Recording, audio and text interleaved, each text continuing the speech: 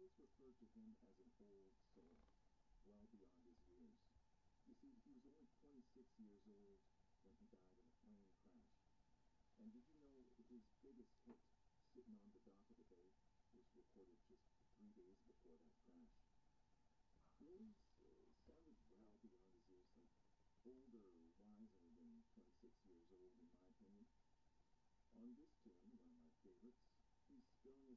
to a special someone saying, Hey, listen, I'm a man. I want to spend the night with you